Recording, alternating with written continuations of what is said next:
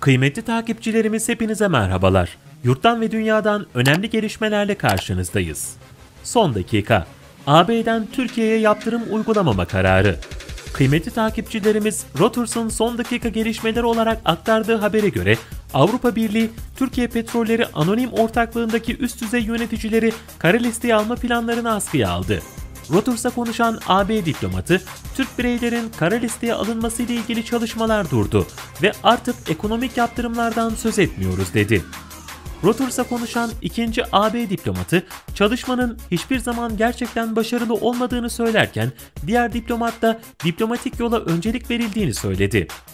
Aralık ayında Avrupa Birliği ülkelerinin liderleri bireyleri belirtmemekle birlikte Türkiye'nin Doğu Akdeniz'deki doğal gaz için izinsiz sondaj faaliyetleri nedeniyle varlıklarının dondurulmasını ve seyahat yasağı getirilmesini önermişti.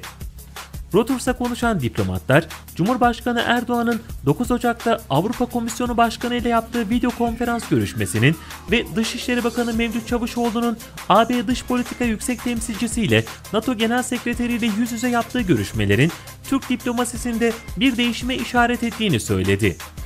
Bunun yanı sıra ajansa konuşan Avrupalı ve ABD'li yetkililer bu kararda hem Ankara'nın daha yapıcı bir dil kullanmasının hem de Yunanistan'la istikşari görüşmelerin yeniden başlamasının hem de ABD Başkanı Joe Biden'ın Brüksel'e bu yöndeki çağrısının etkili olduğu belirtildi.